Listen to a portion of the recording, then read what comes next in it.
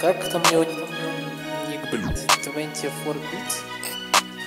Или как?